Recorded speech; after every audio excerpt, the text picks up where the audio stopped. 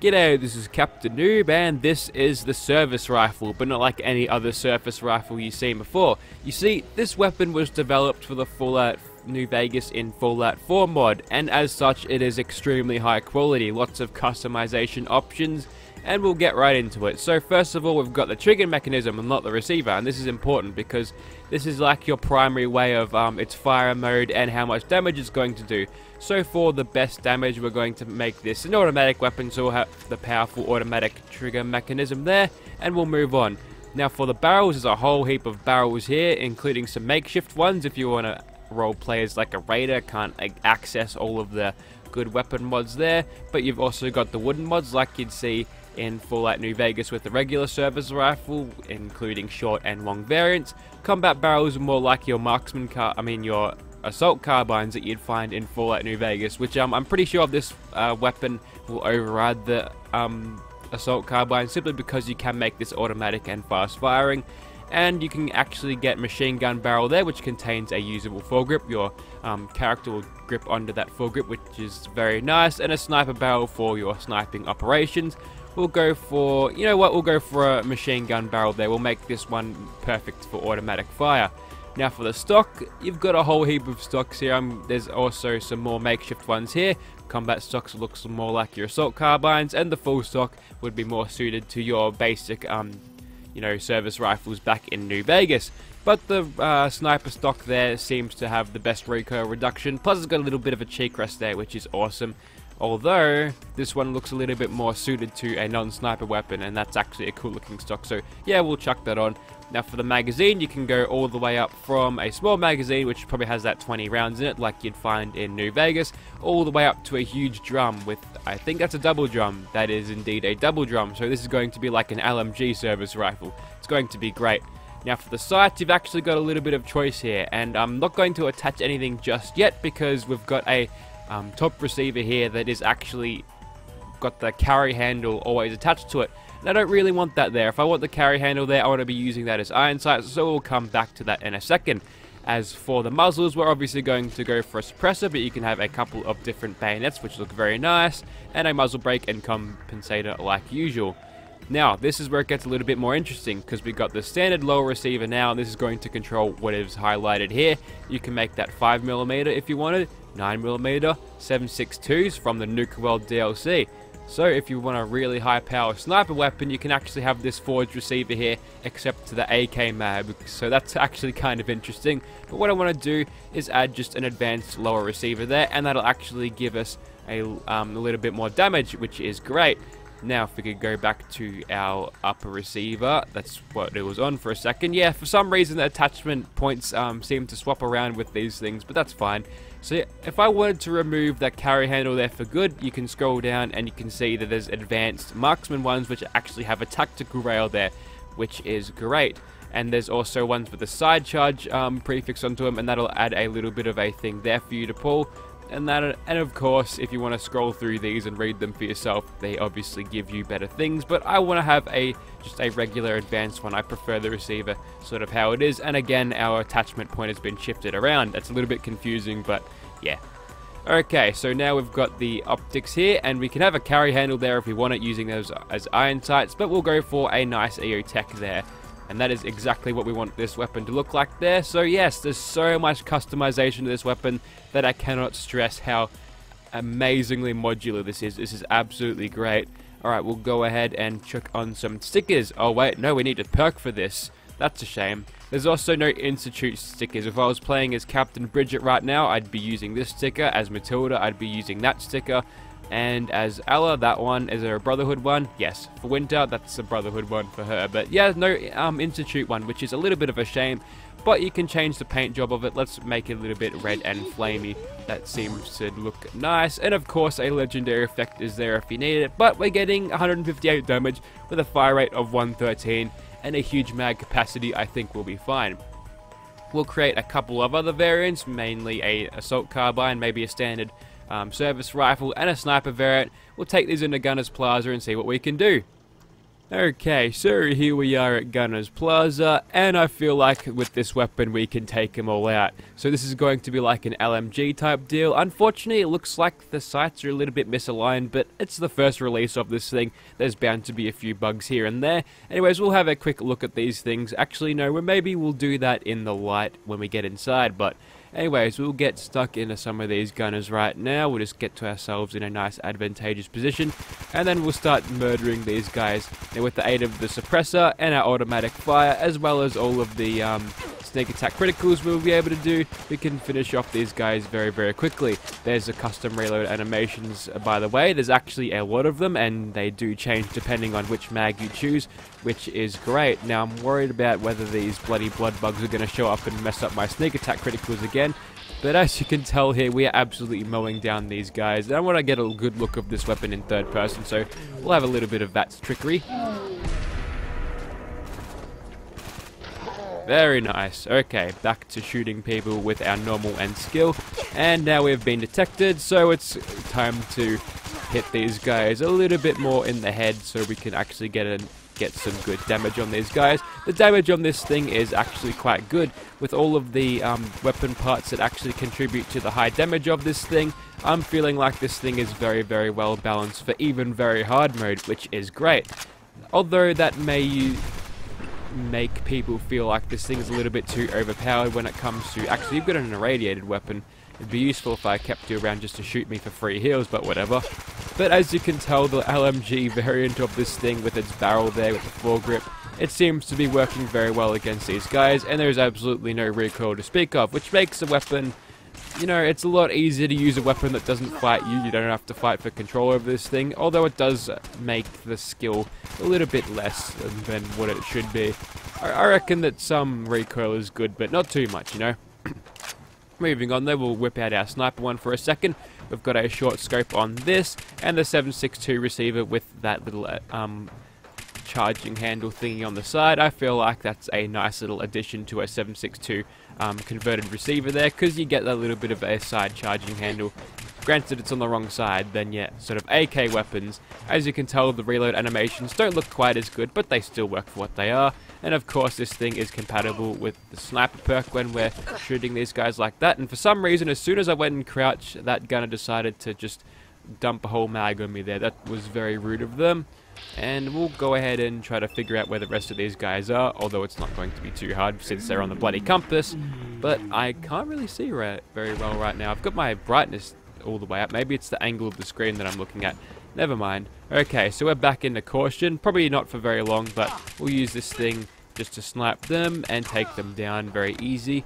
Nice diffusing of the threat, so we don't have to worry about getting shot from these guys. And what are they shooting at? I want to see if I can hit you through the wall. Actually can. That's interesting. And I believe there is someone right next to me. There you are. Okay, you can die.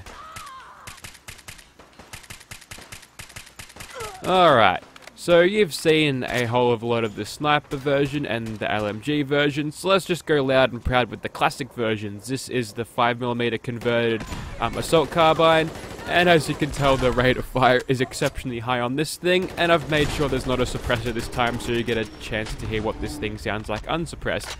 Currently we're losing the DPS war to that gunner with the um, Gauss rifle there, but we managed to take it out with a little bit of help from Nerd Rage. And you know what, let's go ahead and shoot this bloody blood bug and VATS. If I can just zero in on his torso, I like shooting him there. That generally gets you the best chance. And with the damage of this thing, which isn't as great as our LMG 556 shooting one, we can still do a really good job against these gunners. And now that we're picking off these guys a little bit longer ranges, we might be able to get away with using a service rifle here with the wooden stock and uh, barrel there, but maybe not. I feel like using an automatic weapon is very beneficial to us right now. So we'll just take out you in the head because you got the drop on me. I'm going to miss VATS for that 76. I'll actually have to aim at people now rather than letting the computer do it for me. I don't think I'll be doing very well in PvP at all, but We'll switch back into crouchy mode and go to the LMG room clearing device and quickly lockpick this is a very easy lock and knock these people down like that. A lot of bullets going around, but none of them are going into me, thankfully, and we can finish off those guys very, very easily indeed, with a little bit of sustained fire. Thank you, Drum Mag. Okay, let's get out our... Oh, there's one. Right there. Don't miss him. Gotta keep on hitting him. Okay, looks like with the iron sights in this thing, with its semi-auto mode, you can actually still use sniper, which is actually kind of good. It's kind of like the regular assault rifle in the vanilla game, even though you've still got the sights equipped on it, you can actually use a thing as sniper though, but I'm going to have to actually play conservatively here, simply because we don't have a lot of health to um, spare. That's just a basic gunner, however, an elusive basic gunner, but we got him. So with the 20 round mag of what this thing would be like in New Vegas, it suffers a little bit, but we should be fine. Just got to take out a couple more. I think that one's way below us. Yep, okay, we've got the high ground on these guys. It's just a matter of uh, drawing them out. Alright, that's just a Brigadier there. They'll do a lot of damage to us, so we'll just take them out a little bit like that. Ah, Mysterious Stranger comes out. There we go. Sometimes he likes to leave the shot to the last second when you think he's going to do absolutely nothing and waste your time, but yeah, he made it, which is great. Also, I missed two gunners over there. That's brilliant. Anyways, we'll keep on VATSing our way to victory here. They're a little bit too far away to maybe hit reliably with iron sights. Maybe if we go in a third person and deal with them there. Also, I think I leveled up because I got all my health back, so no point on playing conservatively now, is there? Okay, we'll switch over to our assault carbine variant because why the hell not? And we'll track down the last couple of gunners that I somehow missed and kill them.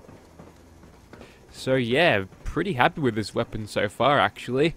Um, this is a huge cut above the uh, assault carbine mods that I've experienced in the past there. And yes, this is going to be a very, very good addition to the Fallout uh, New Vegas in 4 mod, which hopefully at some point doesn't get taken down like Fallout 3, the Fallout 3 version did.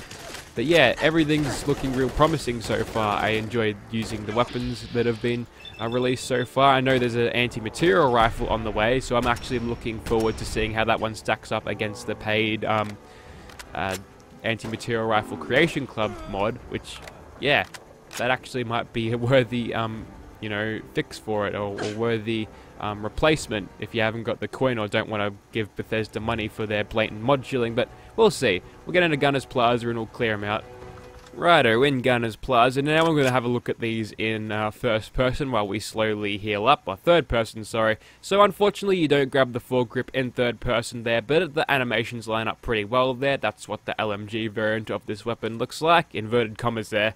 Come on, I'm not that stupid, but yeah, there we go. There's what the sniper one looks like with the 7.62 receiver with that AK mag looking thing there. Interesting looking weapon, very cobbled together, nice and full ID. And then we go to, over to the assault carbine, which basically looks like an M4 carbine, but yeah, it fires the smaller 5 5 uh, 5 millimeter bullets, which um use the same size mag, so I'm not sure what's going on there. And last but not least, the service rifle and the reloads, of course, are there in third person too. So yes, a very good weapon mod. I highly recommend this to anyone. I'm going to start talking about Fallout 76 now because why the hell not? And I was talking about Creation Club before. Oh, we actually nailed that person pretty quickly. But yeah. And um, I was thinking that basically, yeah, there are going to be mods at some point. That's something that Todd Howard has confirmed. That, actually led me to pre-ordering that because without mods, um, there's not going to be a lot to keep the game running, you know, past its regular you know, lifetime. Although, since it's an online game that gets updates ever-changingly and, you know, it proceeds forward, kind of like uh, the whole GTA thing, how that thing's got a lifespan of infinity as long as Rockstar keeps updating it, then yeah, um, the lifetime of the game probably won't mean a whole lot, but it's nice that we'll be able to modify the game to our own liking with um, oh, hang on, we can't shoot that guy for some reason. Maybe it's just my aim is off. But yes, it's nice that we can make our own personal modifications. Now, what I'm wondering is whether they'll um, handle it like they did with the other Creation Engine games. Oh, look at you. Just threw it to the ground. Threw him to the ground with that sniper knockdown there. Very nice. Okay, so we're making good use out of the regular service rifle here. And even if you want to keep this thing as pure as you'd like to the New Vegas variant, you can actually still wreck face with it, which is very good. You just need to put all the advanced um, things on it, which is great. Not even having to cheese with a suppressor here, so that's good. The rate of fire boost actually helps a lot too, and I can probably even boost this thing's uh, you know, power a little bit more. Oh, also I threw that one to the ground again. Sniper knockdown is very, very aggressive today, apparently. Yeah, so um, back to the topic at hand. I forgot where I was talking about, but going back to the Creation Club thing, I reckon that's going to actually be a big part of the whole thing. We might actually see a few of the weapons that aren't present at launch come in through the Creation Club, and hopefully they're balanced properly, because if they're not viable and we can't mod them to make them viable, down you go, Bridget, is that, um, yeah, they're going to be a completely useless waste of money, which would kind of suck because a lot of my viewership comes from me um, checking out some of the Creation Club things, so, uh, yeah, maybe if I can't fix them right away and I can only say bad things about them, maybe it's not going to be the same, but... Yeah, I'm not even sure how that's going to work, because I still want to look at weapons and see how that uh, pans out in Fallout 76, but yeah, until I find a good place to test them, like Gunner's Plaza or somewhere where there's, you know, there's a bit of combat variety, I suppose, but I guess the map's going to be four times the size, so yeah, um, maybe that would work, but yeah, there's, yeah, that's what I want to do. Trouble is that it may be a little bit oversaturated at first and may not be able to even get the um, my foot through the door when it comes to Fallout 76 content because everyone will be watching the bigger channels because obviously they're more trusted and reputable sources because I'm only just a little tiny channel, not even, I think I've just hit over 2.5k, so yeah, Not a lot of people will be coming my way to Fallout 76, but I feel like I'll be able to get some good content out of that, and hopefully if it plays out right, we can even play with um, some of the subscribers during streams. I feel like that's an excellent way to actually, you know, interact with the community I've been rambling this whole time, but hopefully you've um, taken into account how devastatingly powerful this thing is, even when you're not cheesing with a suppressor all the time. So, yeah, that is absolutely brilliant. Service rifle made by Deadpool, Hack, Shiny Haxorus, all those blokes. Yeah, they've, they've done it again, boys. We'll move on to something else. Okay, so there's a giant Mirelurk over silhouetted in the distance there. We'll get stuck into him and see how fast we can kill him seem to be going pretty well so far with constant sneak attack criticals, and the rate of fire is keeping this Mirelurk nice and staggered there. I think he's mutated at this point, he indeed has, and we'll continue to hit him with all of the sneak attack criticals until he's close enough where we need to start using a weapon that would uh, knock him down with the sniper perk rather than just hit, keep on hitting him with sneak attack criticals. But that time will be now actually. So there we go. We'll hit him with our service rifle here. And now that he's knocked down, we're free to just keep on shooting at him until he, you know, dies. If we can knock him down in the water and he's taken by currents, hopefully that can push him to a point where he's completely immobile but I think the current is actually drawing him right into the beach there, so he gets up whenever he touches the land there, which is a shame, but we'll switch over to our sniper one, I mean our LMG one, just to get more damage from an automatic platform as he's ragdolling around there and has decided not to get up this time, so maybe the current took him for a little bit more than I was expecting, but you know what, I think it's time to use this thing as a 5mm little submachine gun. Would it be submachine gun? Because it's not firing rifle rounds, is it? And we'll just keep on shooting him in the head because this thing is very, very good in VATS as well. Very, very um, efficient with the action points, which is kind of strange because, yeah, usually this thing in its Fallout New Vegas game, it ate up those action points pretty quickly, simply because rifles did back in that game. Also, there's a custom bash animation. You don't actually grunt every time you um, hit it, so uh, yeah, that's a cool change, I suppose. But if you're in third person, it'll be the standard um, bash animation and the grunt every time. But that's interesting. So, I think I've vouched for this weapon long enough, you've seen me play for it long enough, and if you like this thing already, you've probably already gone down to the description and went to download it. I highly recommend this mod if you haven't told if you haven't been able to tell that already. So if you'd like to see this thing in your game, link in the description, and it is on PC now, but um, these guys usually port their stuff onto Xbox One at some point there, so I believe we'll be able to see this thing on consoles very, very soon indeed. Thank you very much for watching, guys.